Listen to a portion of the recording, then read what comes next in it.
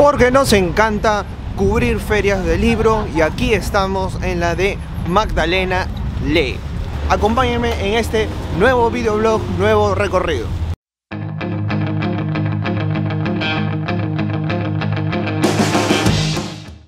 Ya estamos instalados por aquí, vamos a ver si es que encontramos alguna oferta que nos llame particularmente la atención. Yo no sé ustedes, pero yo siempre trato de buscar los libros de los más baratos hacia los más especializados, así que vamos a ir en ese orden. Vamos de una vez. Vamos a ir recorriendo la feria. En realidad es una feria pequeña, es una feria que tiene gran variedad de stands, pero una feria pequeña al fin y al cabo. Vamos a ir a la vieja confiable, al stand que la rompió el año pasado y seguramente la está rompiendo ahora también. ¿Cuál es ese stand? El stand de Grandifer. Siempre tienen un montón de libros, siempre tienen un montón de ofertas, desde 9 lucas 90. Ahí vamos. 9 lucas 90, dime dónde, dime dónde, que yo quiero comprar ahorita. Grandifer, mi hermano, vamos a la vieja confiable. Vamos para allá, vamos para allá. Aquí estamos, stand de Grandifer, a la entradita nomás. ¿Qué es lo que hacemos? Entras a la feria y ahí está Grandifer. Y en Grandifer tienes la ardua, arduísima misión de explorar por acá. Yo no sabía de la existencia de esto de acá, esto me rompe la cabeza, hermano. Un cómic de Yango. Imagínate, aquí está la chica de dinamita. No sé si es que muestran la escena de la azotea por acá, porque dice para mayores de 16 años. Pero ahí estamos. Así que vamos con todo con Yango. El Principito hay algunos dicen el Principito está sobrevalorado, yo no lo sé. Saquen ustedes sus propias conclusiones. Algunos me molestan y dicen que si que me pongo lentes podría ser un poco este tipo de aquí. El profesor de la casa de papel. No sé ustedes, déjenme aquí en la caja de los comentarios si es que realmente es así o si es puro flor. Eh, miren este libro de Cáceres. Este a Merlín le gustará seguramente. Porque habla a propósito de este gran, gran, gran personaje de la historia de Perú. Y podemos seguir viendo, podemos seguir explorando. Vamos a ver si encontramos algo, algo más de, de, literatura. El cantar del mío Cid. Ahí está. Y todo lo demás está a precio de feria, 19.90. Acá tenemos otro grupo de libros desde 19.90 y aquí podrán encontrarlos. Otelo de Shakespeare Dicen que Shakespeare es el padre de la tragedia, pero en realidad el padre de la tragedia es Sófocles, hermano. Si es que tú quieres leer realmente una gran, gran, gran tragedia, háblame de Sófocles, no me hables de Shakespeare. ¿Y por qué digo esto? O sea, si hablamos de Antígona, hablamos de Edipo Rey, estamos hablando de tragediones en la literatura y de las cuales, evidentemente, Shakespeare tomó préstamos. Esto no quiere decir que sea mejor Shakespeare o que sea mejor Sófocles. No, para nada no doy a entender eso. Lo que doy a entender es que mucha de la literatura que leemos actualmente proviene de los griegos. Ya haremos un video especial a propósito porque eso es material de otro video. Vamos a seguir recorriendo la feria de Magdalena que seguramente más de una sorpresa tiene.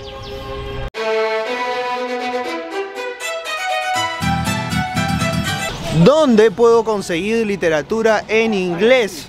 Estamos en la parte de... Pise un perro, Aquí estamos justo en la librería de la Asociación Cultural Peruano-Británica y miren lo que encontramos por aquí. Libros de plan lector en inglés. Si es que quieres practicar tu inglés, ir de inicial, nivel, ir de inicial, primaria, secundaria y nivel superior, la mejor forma es leyendo. Así que aquí los puedes conseguir y este es el dato curioso, están a precio de feria. ¿Cuál es el precio de feria? Ven al, ven al stand, no sea chistoso. Pregunta. Seguimos recorriendo la feria, seguimos recorriendo los stands.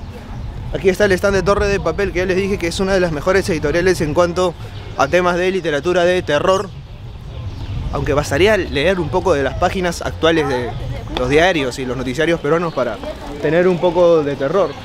Pero vamos a irnos a otro stand, uno de mis stands favoritos, uno de los stands que definitivamente les van a gustar.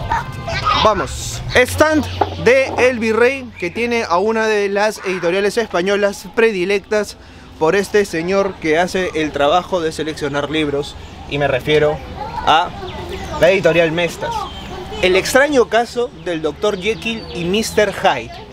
todos tenemos siempre una máscara, todos tenemos siempre algo que aparentar. So- ¿Será que realmente los seres humanos somos los mismos en todas las circunstancias? ¿Será que realmente algún tipo de poción mágica nos convierte en otras personas? Pregúntenselo ustedes después de cada reu. Y por supuesto en el Virrey todas las publicaciones de Alianza Editorial a buen precio.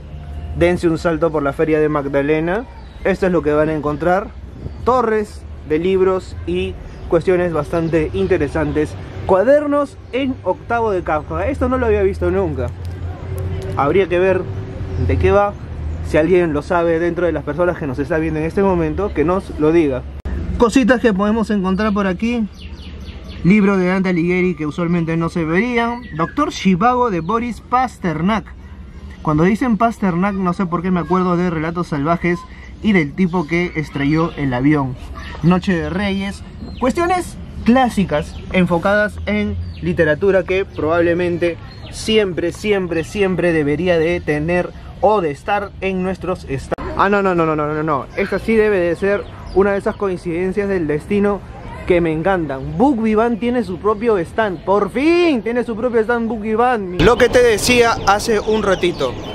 Libros desde 9 soles 90. Vamos a ver cuáles son esos libros de 9 soles 90 que encontramos por aquí y que vienen de la popular. Están en el stand de Vivan, pero son de la popular. La librería más popular, la librería más ponedora, la librería que en Lince te da unos descuentazos y te invito a visitar. Y si no lo has visitado, chequea el video que hice a propósito de ello. Ya tenemos dos videos de la popular. ¿Quieren un tercero? Sugiéranlo por aquí. Aquí estamos con Fernando Ampuero, con algunos otros libros. ¿Quién quiere ser presidente? Miren, ¿alguien quiere ser presidente de las personas que nos está viendo por aquí? Decía Jean-Paul Sartre, nunca mandé porque jamás me gustó obedecer. Soy un eterno desobediente.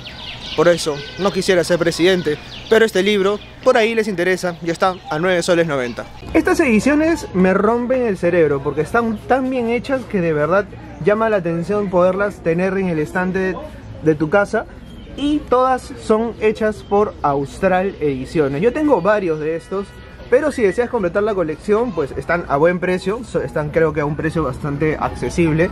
¿Cuál? Ya pues, ven al stand y pregúntalo, no seas saco. Y aquí también tenemos muchísimos de los libros de bolsillo que definitivamente siempre van a formar parte de ese canon de libros que publican autores un tanto más contemporáneos, pero al mismo tiempo clásicos. Por acá también tenemos otras editoriales. Esta es una editorial argentina. Me parece que es MC Cruz del Sur. No. ¿Cuál es esta editorial de Úrsula K. Le Guin? Minotauro. Ahí está. Editorial Minotauro. También que en su momento creo que hizo también un buen trabajo. Y tenemos muchísimos otros más. Dense un salto por el stand de Book Vivan, que está buenísimo. Y tiene libros de la popular. Señoras y señores, el crossover de la vida. Aquí está, dos viejos kiosqueros. Podcast también nominado a los premios iVox 2022. Voten Oye, por ¿verdad? nosotros. No es cierto, estamos nominados junto con la gente de Por la Ruta de la Curiosidad, El Estimato al Cable, está también este Luchas Pasa y el, de- Salsa, pasa, pasa el desprecio, mi hermano, también. Pasa el Desprecio también. Con mi gran amigo Carlitos Mejía y ahí que la gente que la está rompiendo, voten por los peruanos, ya que nadie vota bien. O sea, al menos Al- algo bueno debemos al- hacer. algún peruano tiene que ser elegido y tiene que ser elegido bien, hermano. O sea, porque últimamente nos venimos mandando cada chorrada. Acá nos viene diciendo nuestro queridísimo amigo Buenas, ¿qué tal? que en el stand de Altazor hay cómics. Me dicen, y aquí es donde vamos a presentarles cuáles son esas novedades, cuáles son esos cómics made in Perú que deberías conocer. ¿ya? Del maestro Ricardo Lazo, que es la historia de una niña en el Imperio Inca, que es una niña bien rebelde. Eh, Se siente mucho ese homenaje que tiene Lazo con, con Quino, porque es, eh, sobre todo las tiras, ¿dónde están las guairatiras? Se terminó. Se acabaron las guairatiras. Bueno, las, las tiras de Guaira tienen mucho ese, esa influencia de Quino con los 10 años como falda, pero las historias de Guaira son muy chéveres. El Medallón del Sol, si no me equivoco, es la primera. El Caminante de Valle Muerto es una de las historias más oscuras de Guaira, pero también muy chévere de llevar, donde se Guaira descubre pues que no todo el mundo es tan chévere ni tan bueno. ¿No? Y la ira de Guacón es hermosa. De verdad, esta es una de las mejores historias de Guaira, pero pueden seguir la, la corriente. Y a Guaira también la encuentran con Facebook. Escriban al maestro Ricardo Lazo. Dios de Arena y Cristian Mateo, a quien tuve la oportunidad de conocer hace poco en la Feria del Libro, es posiblemente uno de los cómics. ¿Puedo? ¿No? Es una historia muy chévere con un giro Papel cuché, ¿ah? Sí, sí, sí, ahí ha, ha- ha habido inversión. ha habido inversión. Es una muy buena historia en un universo futurista, pero que te hace recordar bastante a, a- a tu momento actual. Y tiene un muy buen giro de tuerca al final. Ahora, una de mis grandes favoritas, Patata de Yano Kuma, que mucha gente no le da, no le da bola porque dice, ah, mira, es, un Es dibujo". una papa. En verdad es un osito. Es, una, es un osito. Es un osito, pero el osito se llama Patata. Pero este, es- este osito, El osito se llama patata. Patata. Pero este osito... El chapado. Claro, está así, está, está, está Ahí al cuchi. gimnasio, ya. Pero, ¿sabes qué tiene de chévere? Que te enseña a cómo salir un poco de la rutina. Patata se arriesga, tiene miedo, este, se paltea, tiene vergüenza de que la gente se entere de que él está haciendo dibujo. Y aún así va afrontándolo, va afrontando, va afrontando sus miedos. Y todo el desarrollo de Patata es eso, afrontas tus miedos. Ahora, está de más hablar acerca del Rosoco Azul, posiblemente uno de los pocos cómics que tiene que ver con eh, el tema del cuidado del ambiente. Está también Mortinato, el niño, el niño zombie. Caimán, que tú lo ves así, este, con esos colores, pero tiene una historia, de, un trasfondo bastante bueno. ¿ah? Chequen a Caimán. Loco Perú. Ah, el Loco Perú. Loco Perú. A ver, ahí está. Ahí. El Loco Perú tiene también un recorrido bastante largo. Me hace recordar, no sé si te acuerdas, hace tiempo en Facebook había un juego llamado Crazy Combi. Ya. Ya, pues o sea, es como que aquí tenemos al, al auto que saltaba en Crazy Combi. Pero en el tema del al límite de la locura. Loco Perú es un personaje contestatario. Ahora, mucha gente habla acerca, sí, este, los clásicos, dónde está pues Manyute, dónde está Chepare, Super Cholo, pero está bien y qué chévere que hayan existido, pero también hay nuevas cosas en el cómic nacional que es importante que la gente las vea, ¿no? Y un saludo enorme para mi papi Lucho Morocho, que ya publicó en Marvel, ya salió sus... ¡Epa! Eh, epa, sí, se une junto con la linda gente de los años 60-70 que publicaba en Marvel. De verdad, bien, bien por ellos. Bueno, así como encontramos editoriales independientes, encontramos también al grupo editorial Planeta y dice 25%. Llevas tres libros o más y obtienes este descuentazo. Vamos a ver qué libros califican por aquí. Vamos a buscar literatura. Hay gente que me pide mucho video de Blue Jeans, el puzzle de cristal y demás. Blue Jeans es un autor de literatura juvenil que no somos necesariamente eh, seguidores o eh, fans de la literatura juvenil, pero si es que eres uno de ellos y estás por este canal, puedes eventualmente venir, darte un salto y llevarte un ejemplar de Blue Jeans y de ta ta ta el eterno frenzoneado del premio Nobel. Murakami Flores Nano, perdón, Haruki Murakami. Murakami no ganará un Nobel, pero ganará un Nobel en tu corazón y con 25% de descuento de todas maneras en Editorial Planeta. Ay, qué miedo ese rostro. Homo Politicus, David Fishman, para que tengas una mejor vida, y Fernando Aramburu en Patria. Este me pareció raro. Te leo las cartas. Imagínate aprender a leer las cartas y saber qué es lo que te depara el destino. ¿Cuál será el destino de este canal subiendo videos cada 15 días y no todas las semanas?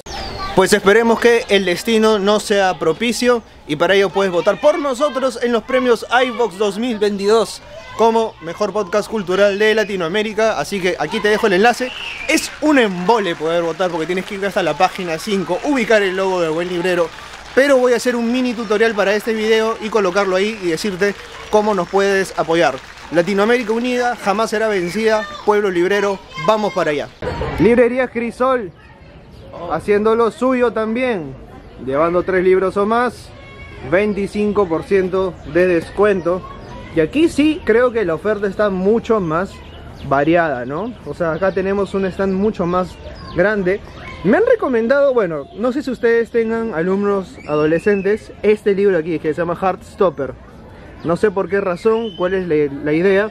Intuyo que es de romance, intuyo que tiene que ver con algo más, más allá de eso, pero por ahí lo pueden encontrar aquí y pueden llevárselo de todas maneras. Así que eso es el stand y eso es básicamente lo que hemos encontrado en esta feria de Magdalena.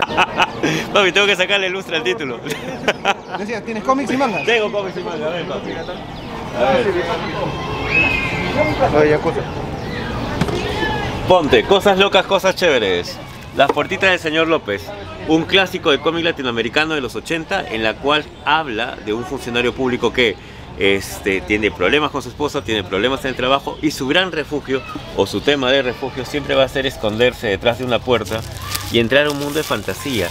Esto es algo... ¿O esta que- no es mi historia, compadre? Este, papi puede ser la historia de todos, ¿ah?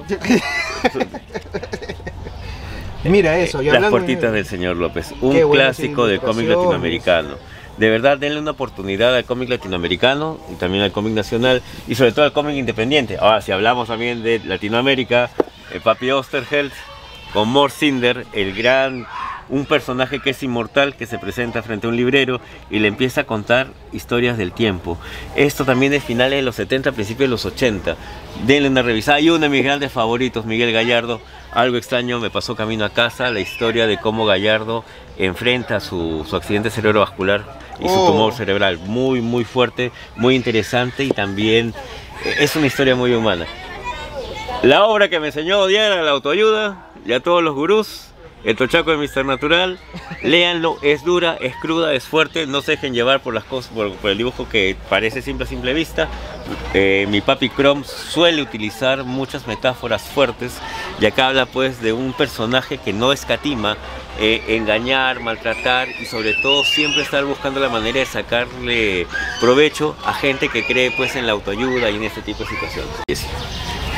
Yo no sabía, a mí me gusta mucho la historia, pero yo no sabía que existía lo que se llamaba el Vals de Gulag, eh, los campamentos durante la época estalinista. Había campamentos de hombres y de mujeres. Y cuando los llegaban a su meta, permitían pues que estos tuvieran encuentros sexuales en una cabaña. Y los hijos nacidos de eso, el, Vals del Gulag se llama a lo que sucedía dentro de la cabaña, iban a los orfanatos donde los jerarcas del Partido Socialista Soviético, de la URSS en esa época, podían este, adoptarlos. Fuerte, una historia bastante Bien fuerte. sí. Nos cayó la noche, pero la noche no le cae a los libros porque estamos en el stand de De por vida. Si te gusta el fútbol, si te gustan los deportes, este es tu lugar. Ad portas de Qatar 2022, mundial al que no clasificamos. Maldita sea, te odio, Andrew Redmayne. Pero aquí tenemos, miren lo que tenemos acá, al Diegote, papá.